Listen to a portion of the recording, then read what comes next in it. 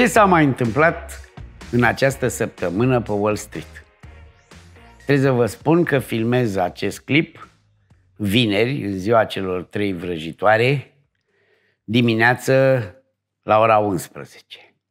Încă nu au ajuns la expirare futures-urile pe indici, pe acțiuni și pe monesi.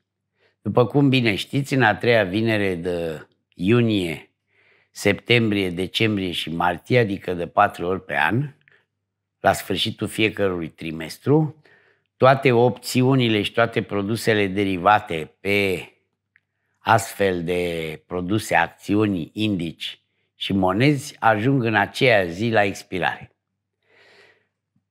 Materiile prime, commodities, petrol, aur și așa mai departe, au expirări din două în două luni și nu se suprapun cu expirările de la trei vrăjitoare, atât aurul și petrolul având de expirare într-o zi de joi, din două în două luni. Ceea ce vreau să vă spun este că astăzi va fi o zi destul de agitată. Închidem la bursă un trimestru din nou pe minus, am încercat de câteva ori să ne refacem, numai departe de acum uh, o săptămână jonglam cu S&P-ul la 4200, 4250, dar a venit Marțea Neagră, au ieșit cifrele despre inflație, inflația a crescut, ceea ce presupune că Fedul va mări dobânda nu cu 0,50 și cu 0,75, asta ar fi în preț, dar deja există vreo 30% din analiști care se gândesc că Fedul poate să facă o surpriză, să mărească dobânda și cu 1%. O mărire miercuri a dobânzilor uh, Federal Reserve-ului cu 0,75 ar lăsa piața relativ calmă, dar ar fi important să vedem ce spune Fedul și dacă continuă 0,75 în celelalte întâlniri de anul acesta – o mărire cu 1% ar lua prin surprindere piața și ar produce un mini crack bursier. Nu știu ce se va întâmpla, nu știu ce va hotărâ domnul Paul, dar cum inflația nu dă semne de scădere, chiar dacă a scăzut față de luna iulie, față de așteptările analiștilor, cu toată scăderea prețului la energie cu 5% și la benzină și combustibil cu 10%, inflația rămâne, bine mersi, peste 8%. În același timp, core rate-ul a sărit de 6, adică inflația fără food and energy s-a dus și ea la peste 6% și ne aflăm la nivelul lui anului 81, acum 40 și ceva de ani, în plină perioadă inflaționistă.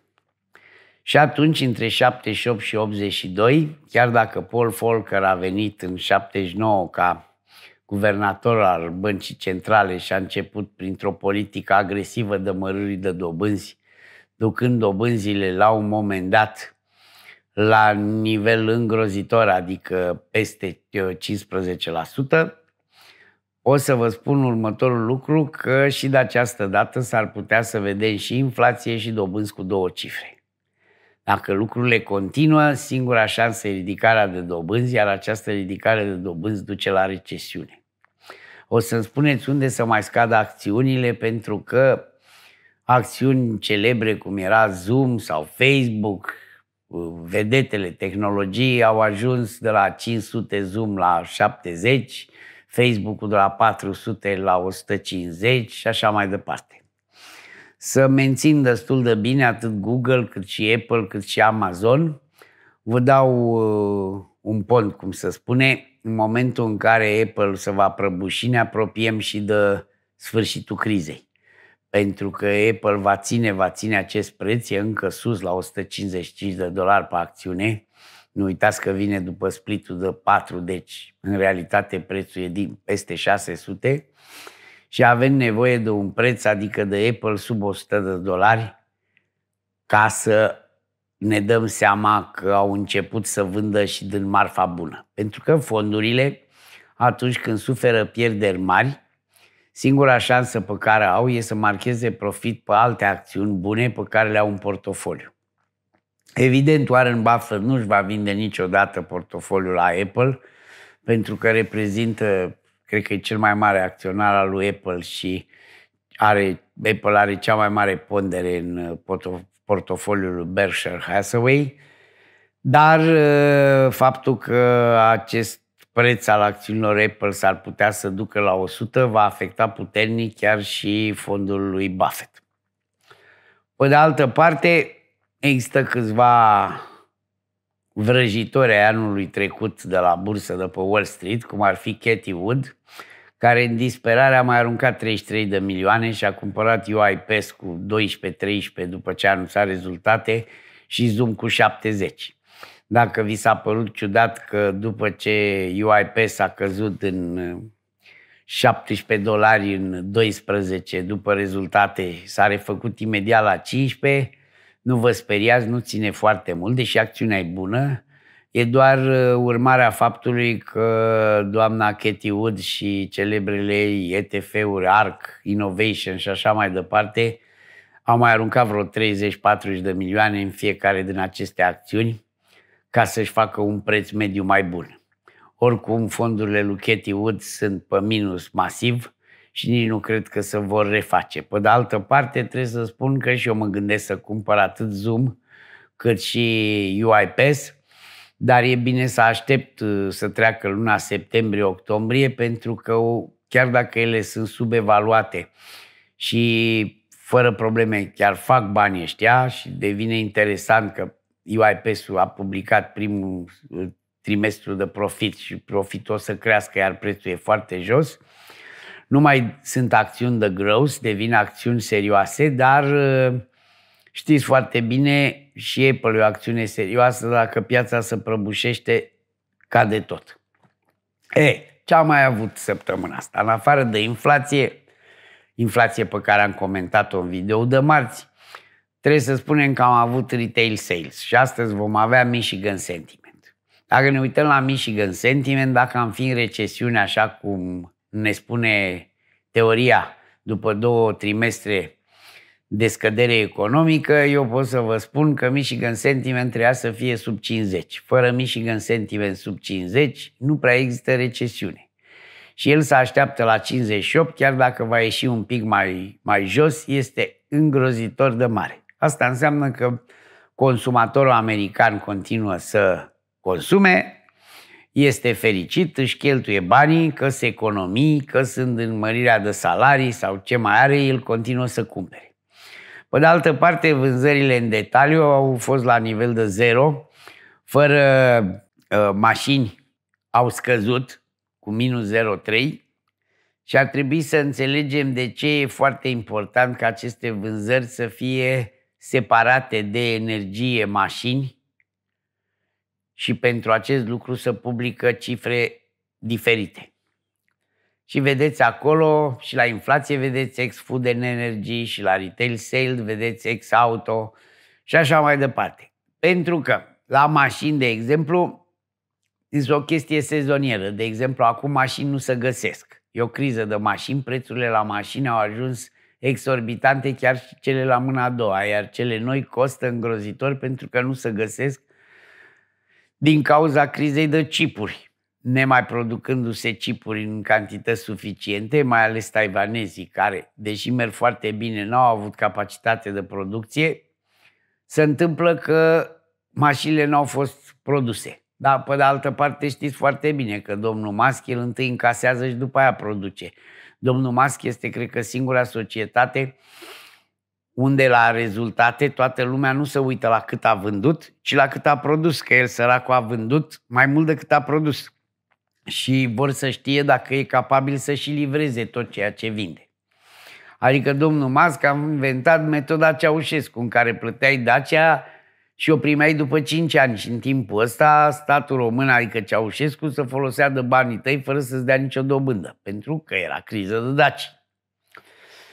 Așa și acum, tezele sunt dorite, Elon Musk nu poate să producă cât poate să vândă și totul se joacă la numărul de mașini produse.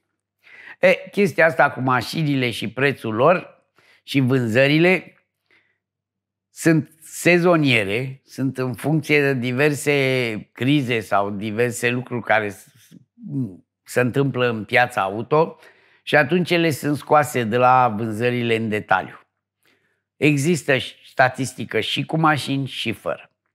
Ce pot să vă spun este că dacă astăzi Michigan Sentiment iese 57 sau 55 sau 50, ar fi o știre extraordinară pentru bursă. Asta înseamnă că vânzările s-au calmat și, drept urmare, inflația ar putea și ea să scadă. Dacă însă vom continua să avem vânzări mari și un consumer confidence, adică Michigan Sentiment, să fie pe undeva la 59, pot să vă spun că piața va continua să scadă. Mai ales că e o problemă. Futures pe indice americani expiră cu un sfert de oră, adică la 9 și un sfert, ora Statelor Unite, 4 și un sfert ora României. La 4 jumate ora României se deschide bursa.